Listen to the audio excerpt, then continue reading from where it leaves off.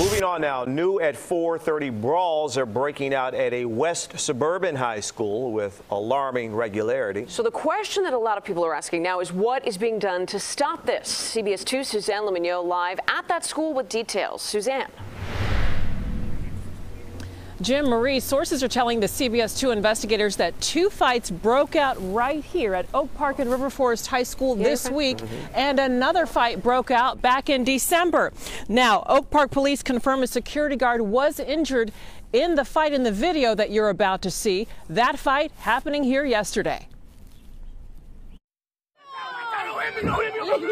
We've blurred the video, as those involved are minors. Oak Park police say a female security guard filed a police report after she was injured while breaking up this fight between two students. She injured her left arm and had cuts to her head.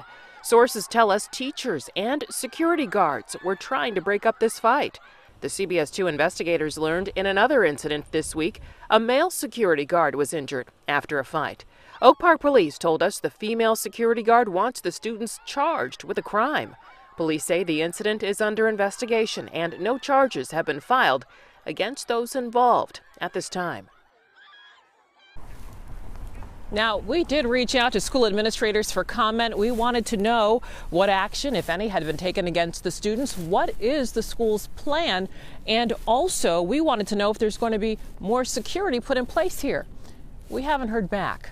In Oak Park, Suzanne Le CBS 2 News. Suzanne, thank you.